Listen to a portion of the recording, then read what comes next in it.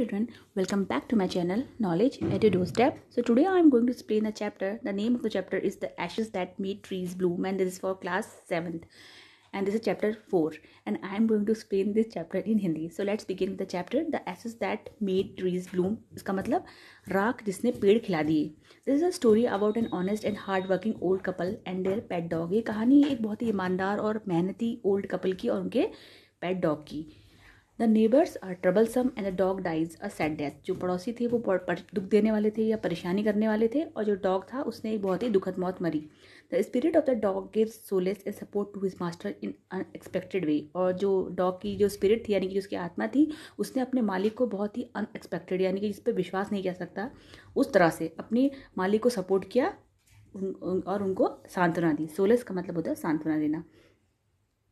In the good old days of the daimyos, there lived an old couple whose only pet dog was a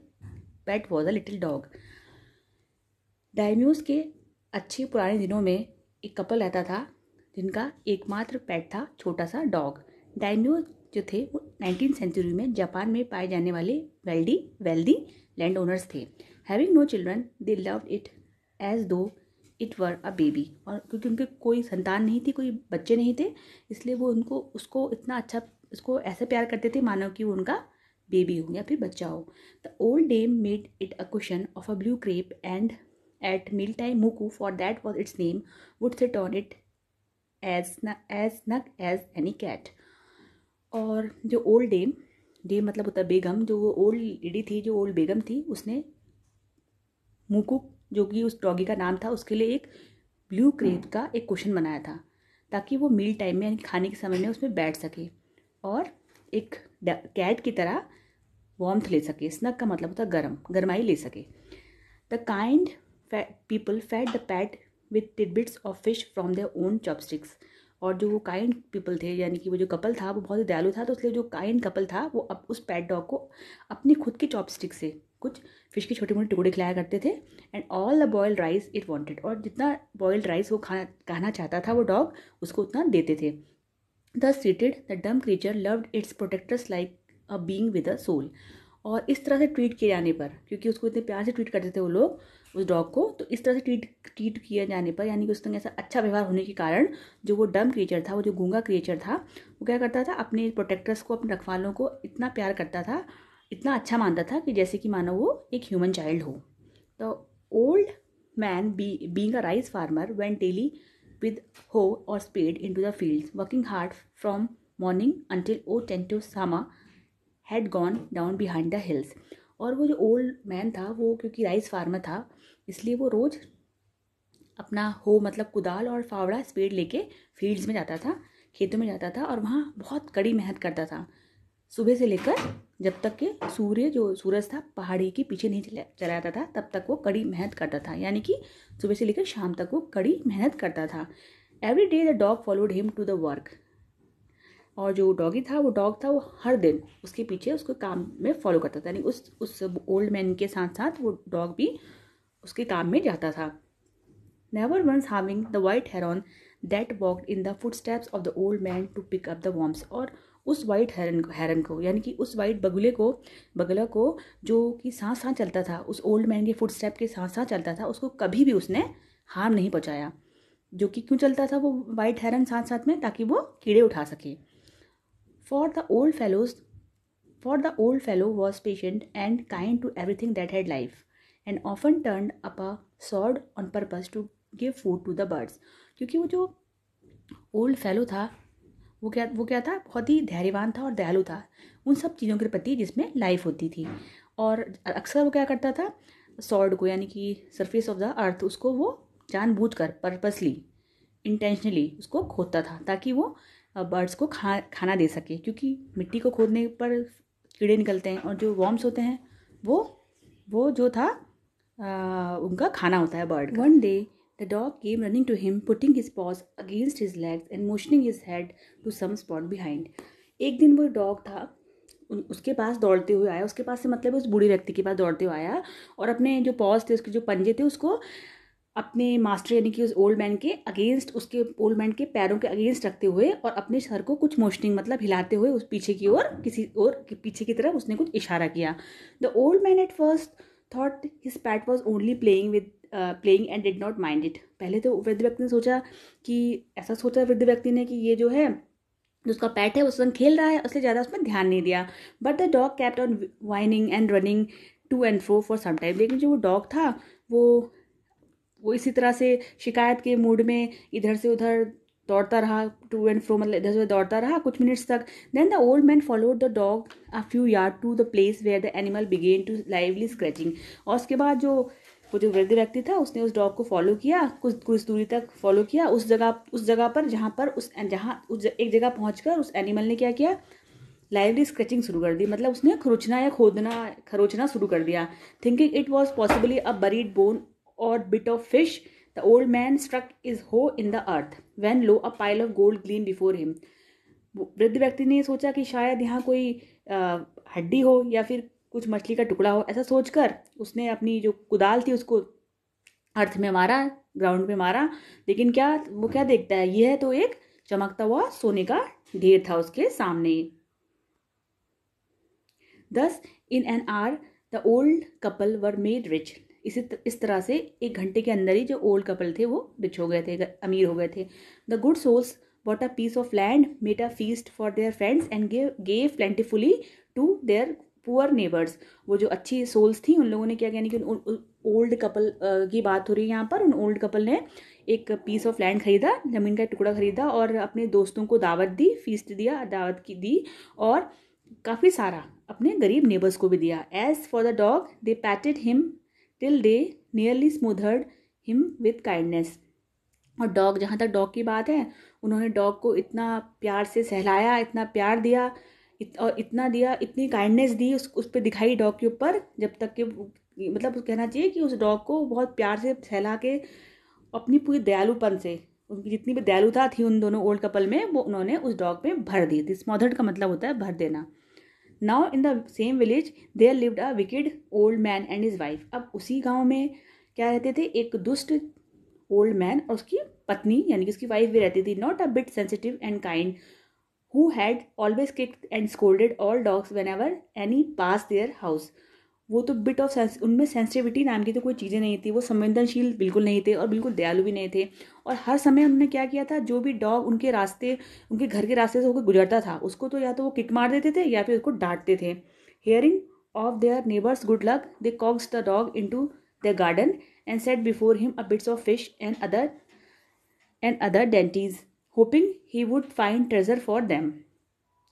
और ये सुन के कि अपने पड़ोसियों के अच्छे भाग्य को सुनकर, अच्छे लक को सुनकर उन्होंने उस डॉग को कॉक्सड मतलब परसी, उसको फुसलाने की कोशिश की, समझाने की कोशिश की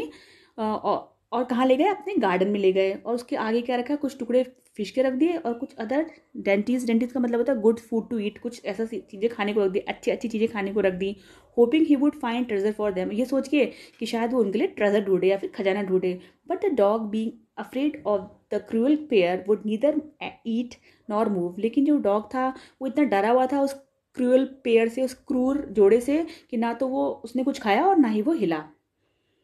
Then they dragged him out of doors taking a spade and the hoe with them फिर उन्होंने क्या किया? उन विकेड कपल ने क्या किया? उस डॉग को डोर से बाहर खींचा और उसके अपने हाथ में, अपने साथ वो स्पेड फावड़ा और कुदाल लेके चले चले गए। No sooner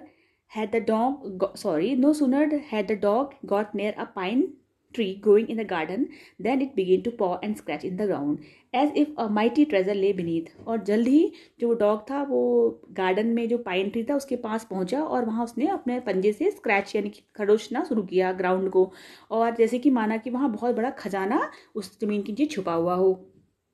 Quick quick wife hand me the spade and hoe cried the greedy old fool as he dance with joy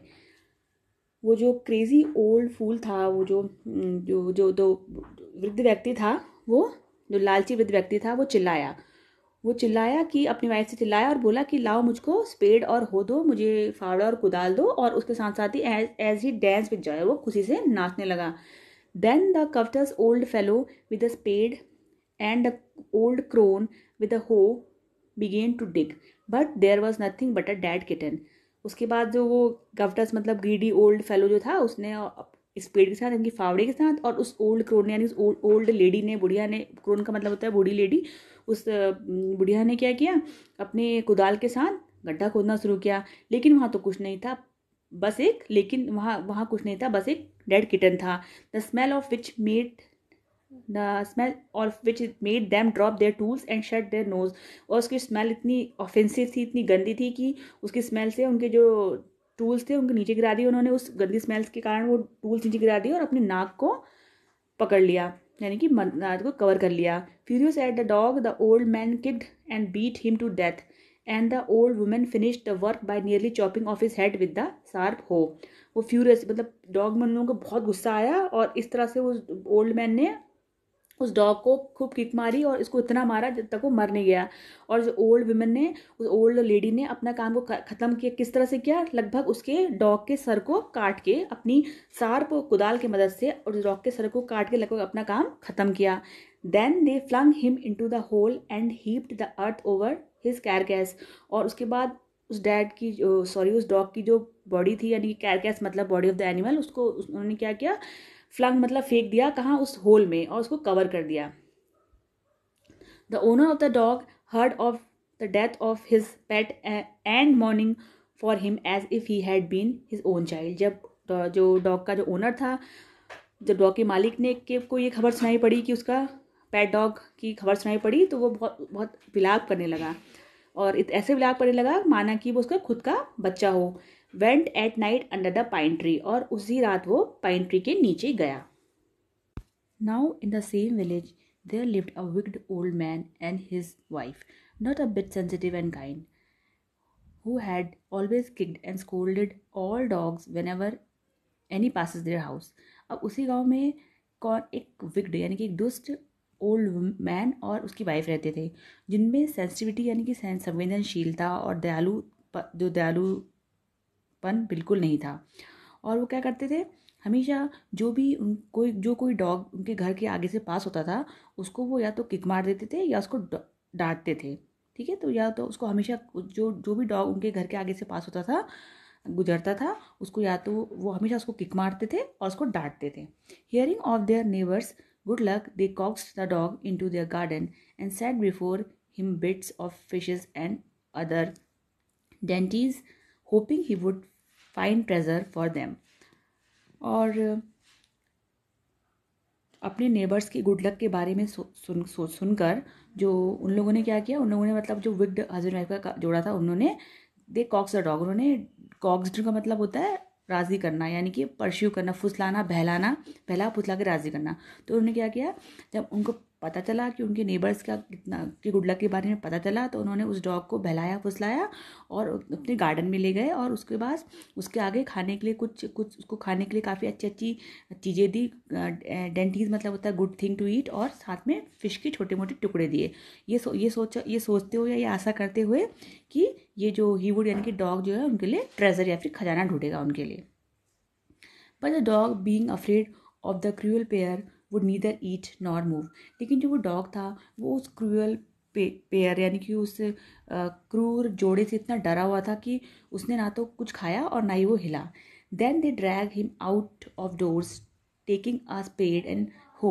with them तो जब वो डॉग वहाँ ना उसने खाया, ना कुछ हिला तो ये देख कर जो वो क्रूअल नेबर्स थे, उन्होंने उस डॉग को पुल क्रैक्ड मतलब खींचा, पुल किया।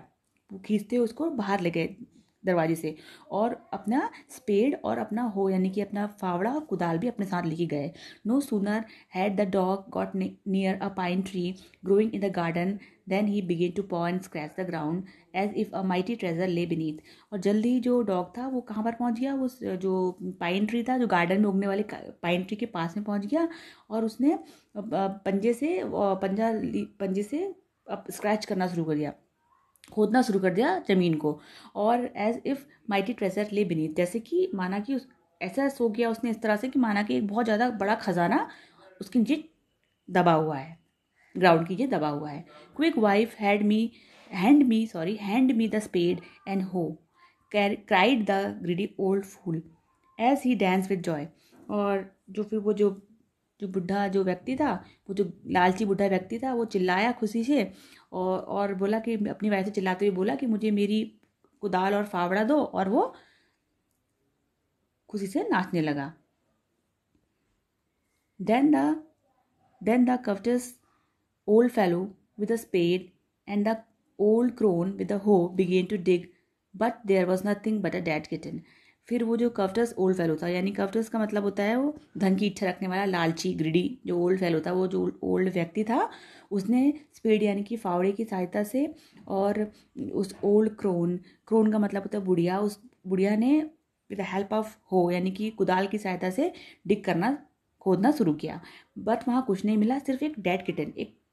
मरी हुई बिल्ली का बच्चा वहाँ मिला। The smell of which made them drop their tools and shut their nose और उसकी स्मेल इतनी फाउल इतनी गंदी स्मेल आ रही थी उसमें से अनप्लेजेंट अनप्लेजेंट स्मेल आ रही थी उसमें से कि उसकी वजह से उन लोगों के जो टूल्स थे उनके हाथ से गिर गए और उन्होंने अपनी नाक बंद कर ली। Furious at dog the old man kicked and beat him to death और उस डॉग पे इतना गुस्सा आया उस ओल्ड मैन को उस, उसमें गुस्सा करते हुए उस ओल्ड मैन ने उस डॉग को किक मारी, उसको लात मारी और उसको इतना मारा जब तक कि वो मर नहीं गया। And the old women finish the work by nearly chopping off his head with the sharp hoe और उस ओल्ड वुमेन ने अपने काम को ख़त्म किया किस तरह से? लास्ट में फाइनली उस, उसका जो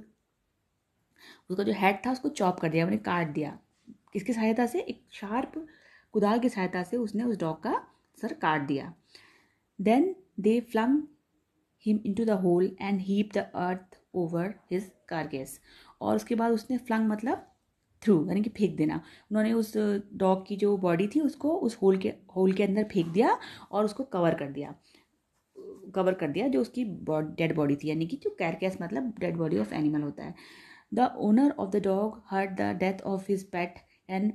mourning for him as if he had been his own child went at night under the pine tree जब ओनर ने अपने डॉग की मौत की खबर सुनी डेथ की खबर सुनी तो उसने बहुत ज़्यादा विलाप किया। मॉर्निंग मतलब विलाप करना, बहुत रोया, उसने बहुत विलाप किया। ऐसे उसने विलाप किया माना कि उसका खुद का बच्चा हो और वो उस राइट उस रात को उस पाइन ट्री के नीचे गया। Set up some bamboo tubes in the ground as are use before tombs और क्या उसने कुछ बैम्बू ट्यूब्स को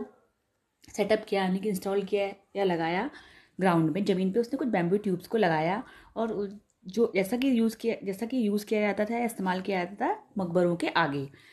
In which he puts fresh flowers और उसमें उसने कुछ फ्रेश फ्लावर्स डाल दिए। Then he laid a cup of water and a tray of food on the grave and and burn several costly sticks of incense और उसके बाद उसने क्या किया? एक पानी से भरा हुआ कप और एक ट्रे जिसमें कि कुछ खाना था। उसको उसने, यानी कि इस ओल्ड मैन ने ग्रेव के ऊपर रख दिया डॉग के ग्रेव के ऊपर रख दिया। और उसके बाद उसने काफ़ी सारी सुगंधित अगरबत्तियाँ वहाँ जलाई। He mourned a great while over his pet calling him many dear names as if he were alive और उसके बाद वो बहुत देर तक वहाँ, काफ़ी समय तक वहाँ वो विलाप करता रहा, रोता रहा। और अपने उस डॉग को बहुत प्रिय नामों से बुलाता रहा, जैसे कि माना वो ज़िंदा हो। That night the spirit of dog appear to him in a dream and said उस रात डॉग की स्पिरिट यानी कि उसके सोल उसके सपने में आई, उस ओल्ड मैन के ड्रीम में आई और बोली cut down the pine tree over my grave and make from it a mortar for your rice pastry and a mill for your bean sauce और उसने बोला,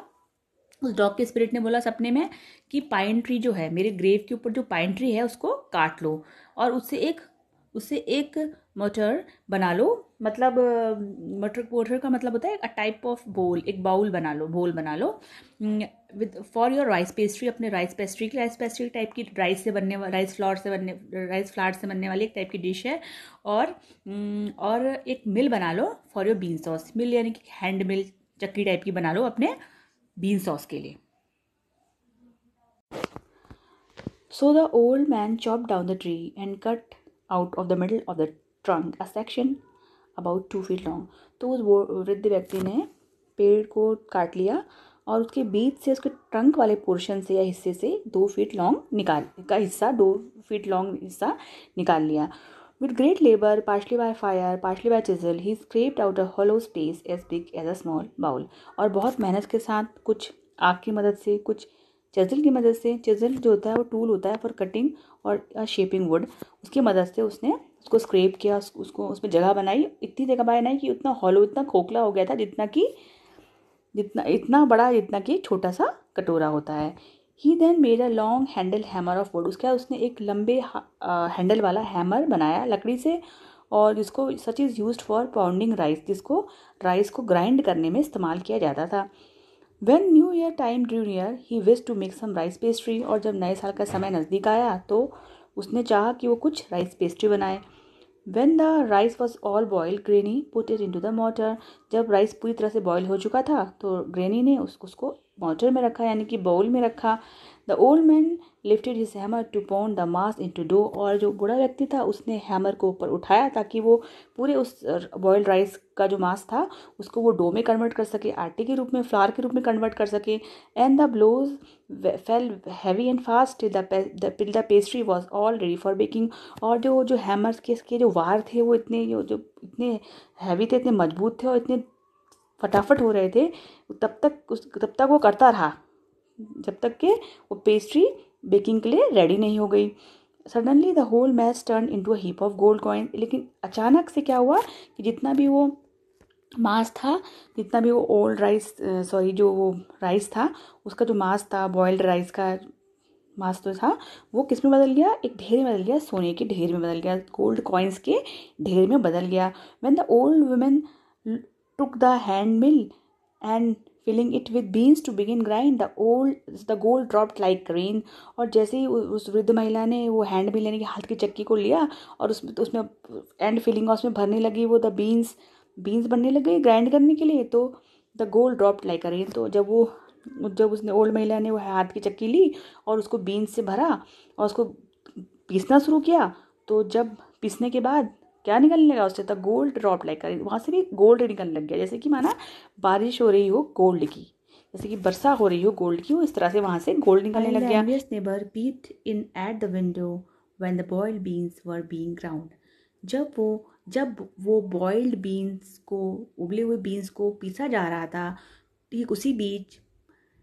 ईर्ष्यालु ने नेबर्स ने यानी ईर्ष्यालु पड़ोसियों ने खिड़की से झांका। Goody me cried the old hag as she as, as she saw each dripping of sauce turning into yellow gold. फिर वो जो बूढ़ी दुष्ट महिला थी वो चिल्लाई कि ओ माय गॉड आश्चर्य में चिल्लाई ऐसा हो और जब उसने क्या देखा कि जो ईच डिपिंग ऑफ़ सॉस जो एक एक एक जो गिर रहा था सॉस का एक एक हिस्सा वो बदल रहा था सोने में पीले सोने में until a few minutes the tub under the mill was full of shining mass of gold और कुछ ही मिनट्स में जो मिल के नीचे, चक्की के नीचे का टब था, वो चमकते हुए सोने से भर गया था। So the old couple were rich again तो वो जो बूढ़ा कपल था, वो वापस से रिच हो गया था या अमीर हो गया था। The next day the stingy and wicked neighbours came and borrowed the mortar and the magic mill और अगले दिन, वो स्टिंगी मतलब माइजरली मतलब कंजूस और दुष्ट नेबर जो थे, उनके पड़ोसी थे वो वहाँ आए और उन्होंने बोरो किया, उधार मांगा उस बाउल को, उस मोटर को और उस मैजिक मिल को जादुई चक्की को। Then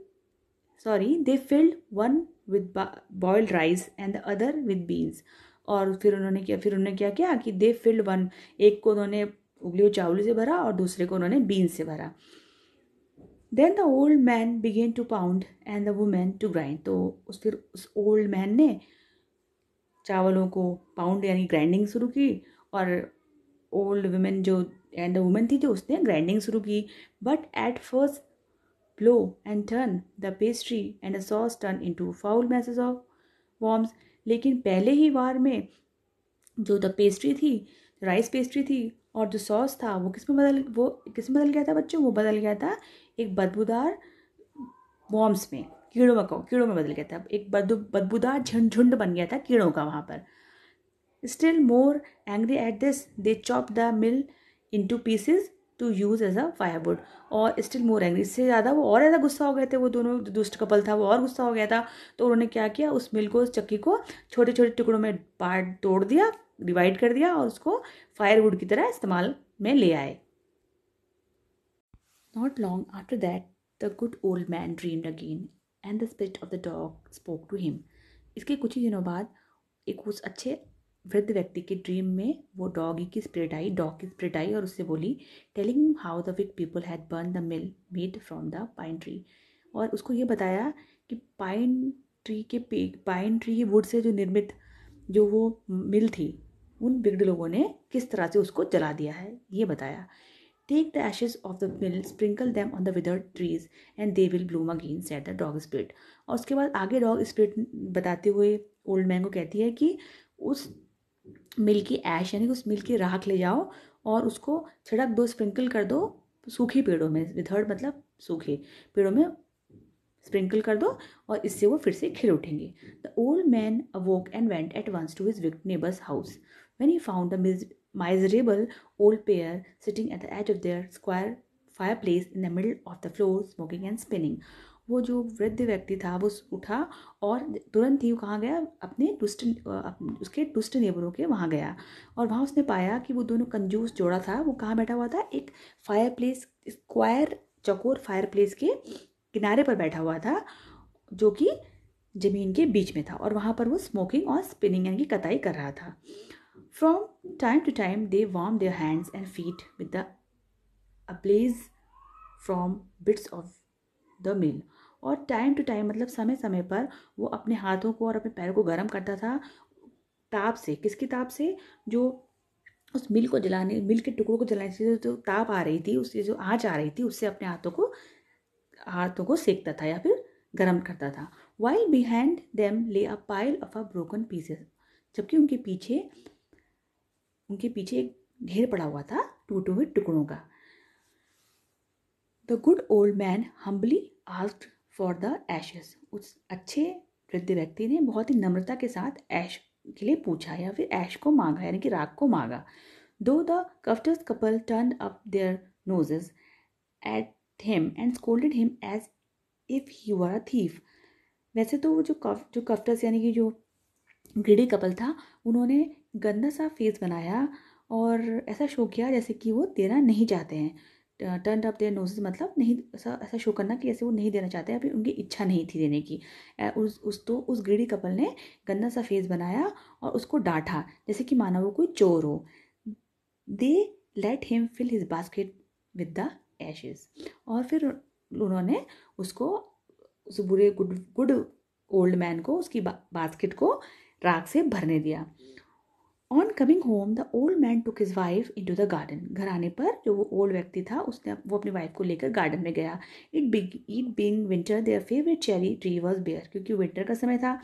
जाड़ों का समय था तो उनका जो फेवरेट का चेरी का जो ट्री था, वो बेयर था, वो खाली था। उसमें कोई भी फूल या फूल वगैरह नहीं थे। He sprinkled a pinch of ash on it and lo it sprouted blossoms until it become a cloud of pink bloom with perfume the air और उसने कुछ ऐश, यानी कुछ कुछ राख को छिड़क दिया, पिंच ऑफ़ राख को छिड़क दिया, स्प्रिंकल कर दिया उस पेड़ के ऊपर। तो इससे क्या इससे क्या हुआ? वो जो पेड़ था वो अंकुरित हो गया स्प्राउटेड हो गया, खिल उठा और वो खिल गया और इतना इतना खिला तब तक जब तक कि एक वो बड़ा सा गुलाबी कलर का बादल ना बन गया हो, पिंक फूलों का गुलाबी कलर का बादल ना बन गया हो, जिसने पूरी एयर को परफ्यूम कर दिया या फिर खुशबू से भर दिया। The news of this filled village and everyone run out to see the wonder और ये न्यूज़ जो थी, ये समाचार था, इस पेड़ का, वो पूरे गाँव में फैल गया। और सारे लोग इस वंडर को, यानी कि आश्चर्य को देखने के लिए आ गए, बाहर आ गए। The covetous couple also heard the story and gathering up the remaining ashes of the mill kept them to make wither trees blooms और वो जो लालची कपल था, जो कवर्टस कपल था, उन्होंने ये स्टोरी को सुना तो उन्होंने क्या किया, जो जो बची हुई बाकी की जो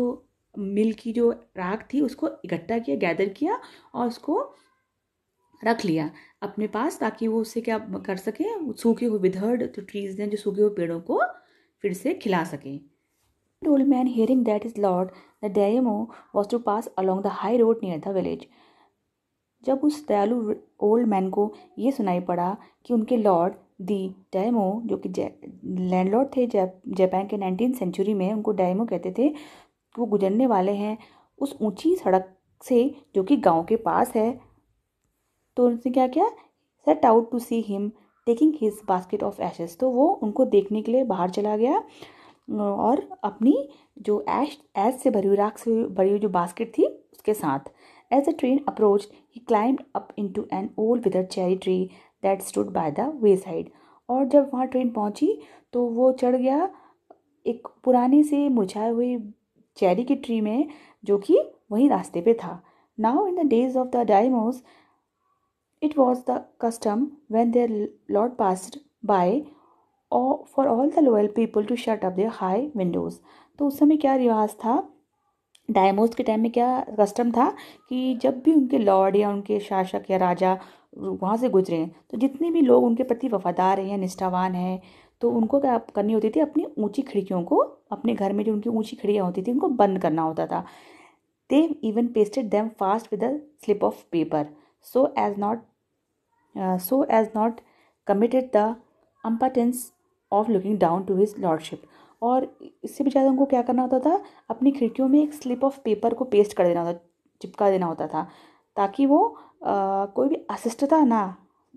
अशिष्ट व्यवहार ना कर पाए अपने जो लॉर्ड को नीचे देखने का मतलब अपने लॉर्ड को नीचे नीचे की ओर, लॉर्ड को नीचे की ओर देखने का अशिष्ट व्यवहार वो लोग ना कर पाएँ। All the people along the road would fall upon their hands and knees and remain prostrate until the procession pass by और जितनी भी रोड जो रोड में चलते थे, जितने भी लोग जो रोड में चलते थे, उनके अपने, उनको अपने हाथ जोड़ के और अपने घुटनों में बैठ जाना होता था और एक तरह के दंडवट पोस्चर में उनको रहना पड़, रहता था जब तक कि वो जुलूस वहाँ से निकल ना जाए। द ट्रेन ड्रू नियर यानी कि ट्रेन पास आई one tall competent man marched ahead, crying out the people by the way, Get down on your knees, get down on your knees. And everyone kneed down while the procession was passing जब train पास आई तो उस एक लब, एक लंबा और सक्षम कम्पिटेंट मतलब एबल सक्षम व्यक्ति जो था वो मार्च करता हुआ चलता हुआ आगे आया और ये चिल्लाता और क्राइंग आउट और ऐसा चिल्लाता हुआ, जितने भी पीपल्स जो रास्ते में चलने वाले लोगों को ऐसा चिल्लाता हुआ कि सब लोग अपने घुटनों पे झुक जाओ, सब लोग अपने घुटनों पे झुक जाओ और सभी लोग अपने घुटनों पर झुक गए जब वो प्रोसेसन या जुलूस वहाँ से गुजर रहा था। Suddenly the leader of a van caught sight to the aged man up in the tree अचानक से जो लीडर था, जो लीड कर रहा था, उस वैन जो वैन में था, उसकी नज़र कहाँ पड़ी? उस ओल्ड एज के मैन पे पड़ी, जो कि ट्री पे था। ऊपर ट्री पे था he was about to call out to him in an angry tone, but seeing he was such an old fellow, he pretended not to notice him and passed him by. उसको वो he was about to call वो उस बूढ़े व्यक्ति को गुस्से की आवाज़ में बुलाने ही वाला था लेकिन ये देख के कि वो बहुत बड़ा और बूढ़ा व्यक्ति है उसने ऐसा प्रिंट किया ऐसा बहाना बनाया कि माना कि उस व्यक्ति ने यानी कि लीडर ने उनको देखा ही नहीं उस वृद्ध व्यक्ति को देखा ही नहीं और वहाँ से आगे गुजर गया। So when the daimyo's palanquin drew near the old man taking a pinch of ash from his basket scattered it over the tree in a moment it burst into blossom so daimyos जब तो जब उस डैमोज या Lord की जो पैनक्विन मतलब पालकी होता है रॉयल वैन या कार्ड जब वहाँ से गुजरी तो